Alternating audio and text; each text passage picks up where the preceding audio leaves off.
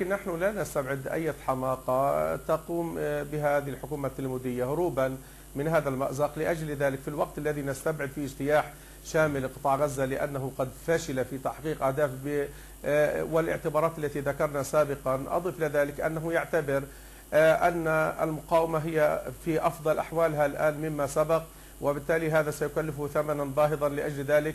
هو يعيد حساباته كثيرا في هذا الإطار. ومن هذا المنطلق على العدو الصهيوني أن يراجع حساباته بأن الدخول إلى قطاع غزة لن يكون نزهة ولا فسحة بل سيكلفه الكثير وأنه إذا ما فرضت المعركة على أبناء قطاع غزة فالمقاومة ستكون له بالمرصاد. وسندافع عن أنفسنا وعن أبناء شعبنا الفلسطيني.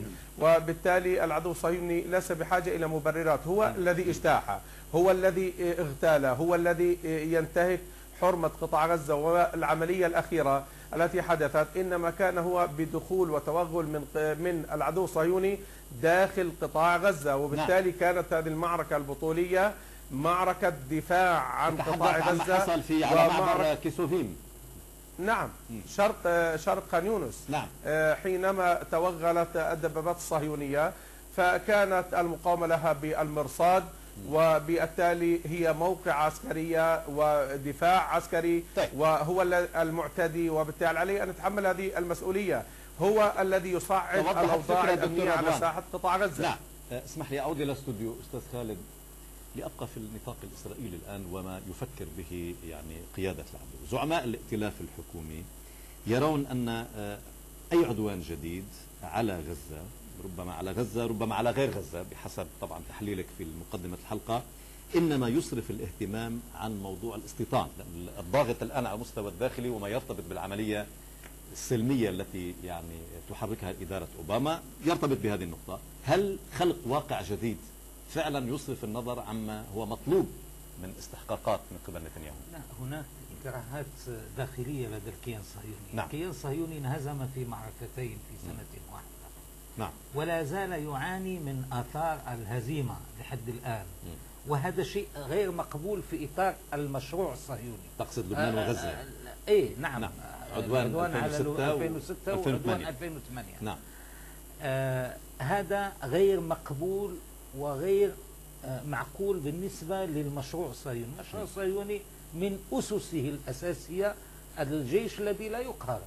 وبالتالي هناك حالة من الخلخلة داخل المجتمع الصهيوني وهذا من الأسباب التي يمكن أن تؤدي إلى آه، آه، يعني الذهاب خطوة إلى الأمام يعني من طرف قادة الكيان الصهيوني. نعم. هذا السبب الأول. طبعا هناك الالتفاف على موضوع الاستيطان لكن في الحقيقة موضوع الاستيطان لم يخلق إشكال حقيقي. لماذا؟ لأن هناك اتفاق ضمني من طرف أوباما ومن طرف الإدارة الأمريكية. لنكن صراحة أنت لا تفرق بين الرؤيتين. لا لأن أوباما آه، آه، عقد صفقة مع اللوبي الصهيوني بالتخلي عن موضوع مطالبة الحكومة الصهيونية بإيقاف الاستيطان مقابل أن يصوتوا له على المشروع الصحي. نعم. خلينا نكون صرحاء ولذلك وقع الصمت. ولذلك بدأ الحديث الآن كما جاء على لسان وزير الخارجية البريطاني. آه نريد أن يبدأ أن تبدأ مفاوضات غير مباشرة صحيح. رغم نفس الظروف وهو نفس الموقف الأمريكي. لكن ما يجب أن نضع أن نضع عليه أصبعنا هو أن أنه ما كان.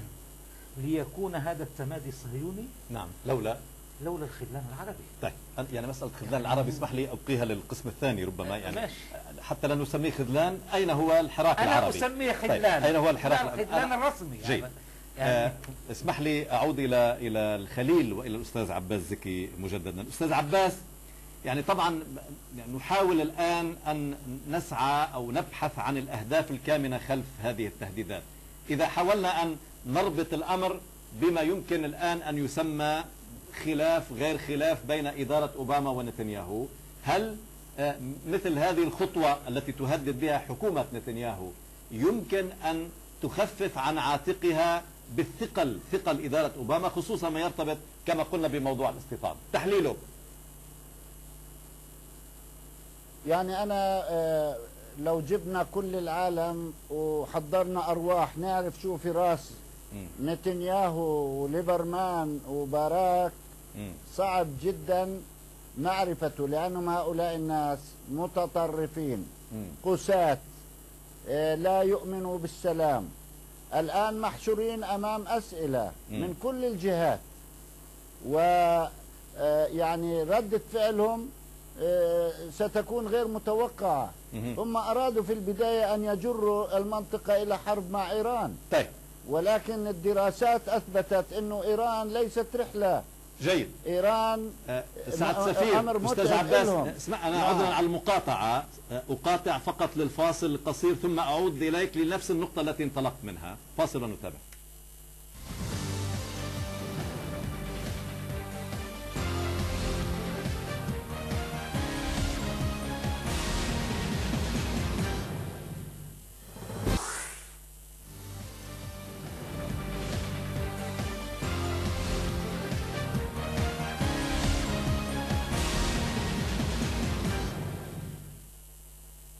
تهديدات إسرائيلية باجتياح غزة والفصائل الفلسطينية تستعد عنوان هذه الحلقة من مع الحدث. أذكر بضيوف الحلقة في الاستوديو خالد السفياني رئيس اللجنة التحضيرية للملتقى الدولي لدعم المقاومة من الخليل عباس زكي عضو اللجنة المركزية في فتح مفوض العلاقات العربية من غزة الدكتور إسماعيل رضوان.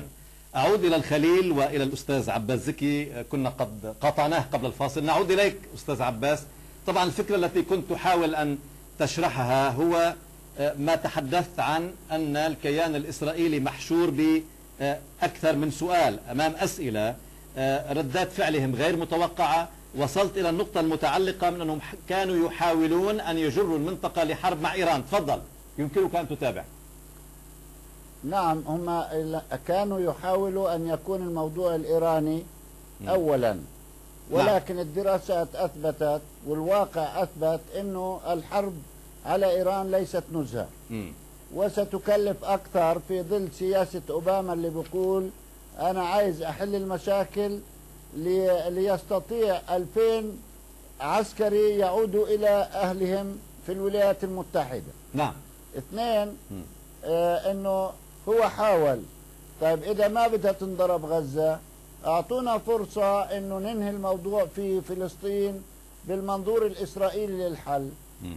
أيضا طلع في وجههم إنه الوضع الفلسطيني ليس سهلا وانه سواء بالإمكانات المادية على الأرض في الضفة أو غزة أو سواء بالتعاطف الدولي أو المتضامنين سواء في الضفة أو في غزة اللي بيجي بسفينة واللي بيجي يقف معنا على جدار الفصل العنصري أو كذا. يعني شافوا لاحظوا إنه الموضوع مش على طريقتهم. أيضا تهديدات السيد آه، آه، حسن نصر الله إذا بتضربوا الكهرباء بضرب الكهرباء إذا بتضربوا الضاحيه بضرب بيرو آه، يعني تل أبيب هذا الوضع ما كانت إسرائيل في الماضي مم. يعني تفكر فيه لأنهم كانوا جنرالات منتصرين وي و و والأمر حينما يصدر ينفذ لا نعم. الآن في مقاومة في عناصر جديدة في الصراع.